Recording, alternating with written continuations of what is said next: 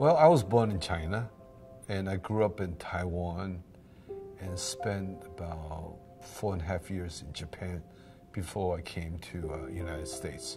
I was born in Burma, raised in Hong Kong, and came over here for college education.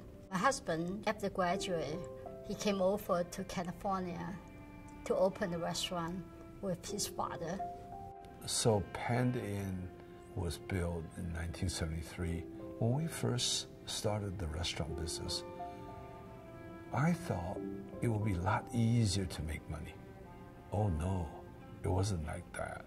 The first month, we did like $12,000. That was like 400 bucks a day. You know, I used to make a couple hundred dollars just as a waiter. Because of Panda Inn, we got invited by the developer of Glendale Galleria to go and open a restaurant in the mall. And that is when I really start to look at the possibilities. The importance what Peggy does. People feel it. People can trust her. She is the rock. Everything is really for each one of us to continually elevate ourselves from inside out. We do have uh, Panda value, the five value, and then one the value is giving.